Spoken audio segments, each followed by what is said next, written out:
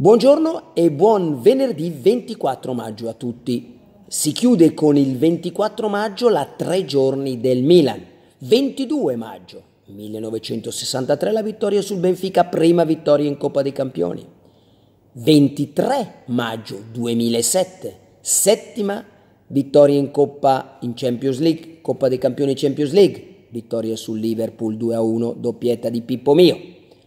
24 maggio, oggi, ricorre il trentesimo anniversario, il trentesimo anniversario della magica serata di Barcellona, quando 80.000 tifosi rossoneri nel, per la serie C'ero anch'io, oggi diciamo sì io c'ero, hanno festeggiato la prima vittoria dell'era in Coppa dei Campioni dell'era Berlusconi, vent'anni dopo la seconda con Rocco e Rivera, quella dell'89, è iniziata così la storia internazionale, europea, mondiale del Milan di Silvio Berlusconi.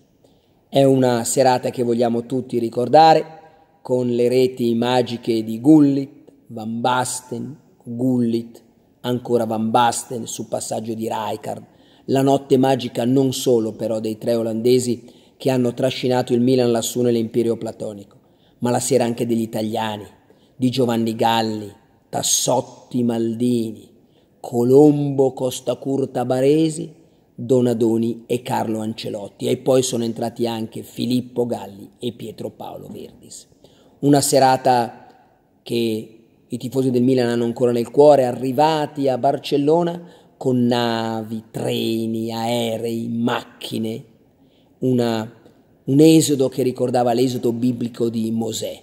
A guidare il Milan il presidente Silvio Berlusconi, che ha ricordato anche recentemente quella notte magica finita nell'abbraccio dei tantissimi tifosi che, hanno, che lo hanno atteso sotto il balcone dell'albergo in quella notte magica di Barcellona un ricordo splendido. Io poi, tifosi del Milan di oggi, sì, piace ricordare quelle grandi vittorie, anche perché qualcuno dice non si vive di ricordi, ma quando i ricordi, l'importante è avere questo tipo di ricordo. I tifosi del Milan dicevano preferiscono parla, pas, parlare del presente, dei problemi del Milan che deve affrontare la SPAL, guardando poi, sentendo poi i risultati dell'Atalanta contro il Sassuolo e dell'Inter contro l'Empoli la visita oggi, anzi ieri, la, l'incontro ieri a Nyon del Milan di Gazzidis, Gazzidis che inizierà, inizierà la sua nuova opera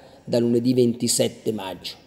Da lunedì 27 maggio parte l'era di Gazzidis che probabilmente partirà con, un, un, con, un, con l'addio di Leonardo, uno dei primi uomini scelti dai, dal fondo Elliott per guidare a livello di direttore tecnico questo Milan.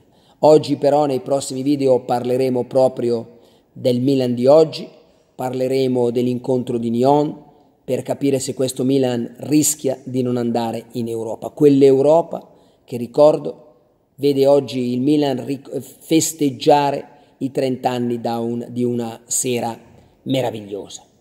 Quindi Milan tra il presente, il passato, ma soprattutto il futuro. Un futuro che partirà lunedì ma lasciatemi ancora oggi ricordare una data che, che, nella testa, nel cuore, nella mente dei tifosi del Milan rimane indimenticabile. Sono passati 30 anni, sono passati 29 trofei da quegli anni, dall'88 poi 89, vinti dal Milan di Silvio Berlusconi. È un ricordo meraviglioso, ma adesso poi dobbiamo parlare anche del futuro perché queste immagini, queste vittorie non rimangano solamente un ricordo, ma vengano rinfrescate da nuovi trionfi e da nuove vittorie. Se vi è piaciuto questo video mettete il vostro like e iscrivetevi al canale YouTube di Carlo Pellegrini.